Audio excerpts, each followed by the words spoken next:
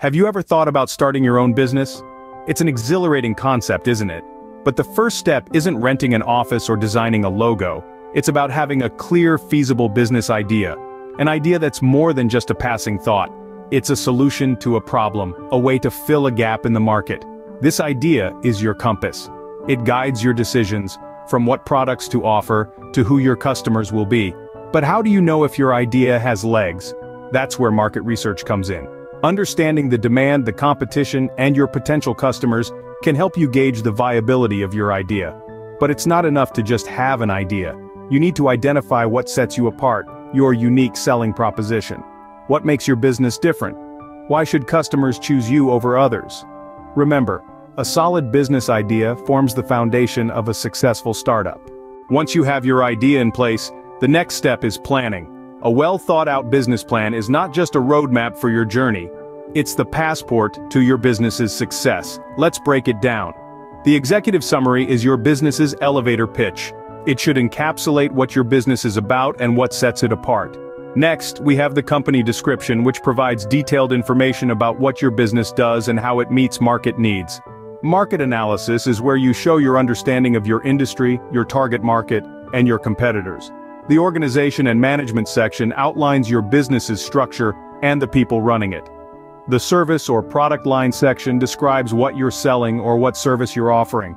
Marketing and sales strategies detail how you plan to attract and retain customers.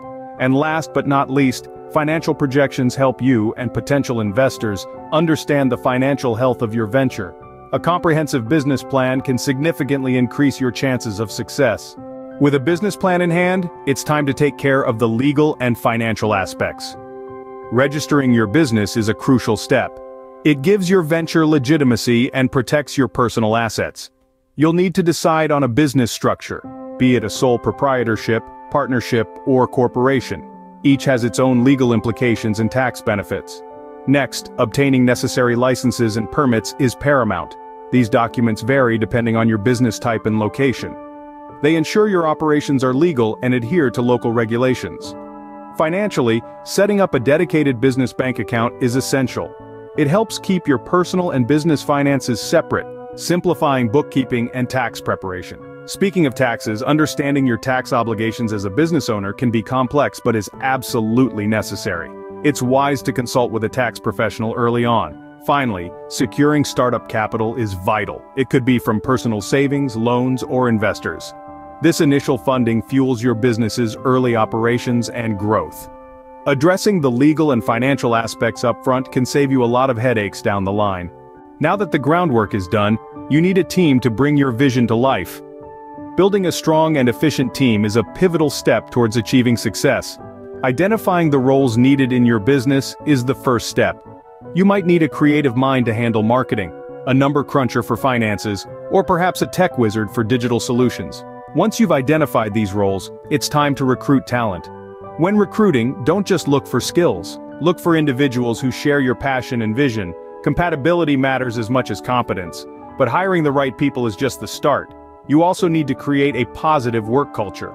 A work environment that encourages collaboration, fosters creativity, and recognizes hard work can make a world of difference. It's not just about having a team, it's about having a team that works well together. Remember, your team can make or break your business. Finally, it's time to introduce your business to the world. The journey to this point has been long and arduous, but the thrill of launching your venture is unmatched. The key to a successful launch is building a strong brand. This means developing a unique identity that resonates with your target market and differentiates you from the competition. Now let's talk about marketing strategy. It's essential to understand your audience, their needs, and how your product or service can meet those needs. Your strategy should involve a mix of traditional and digital marketing techniques to reach a broad audience.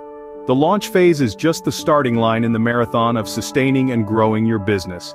It's important to continuously learn, adapt, and grow. You've got to stay on top of market trends, listen to your customers, and constantly innovate. Remember, starting a business is just the beginning. The real challenge is in sustaining and growing it.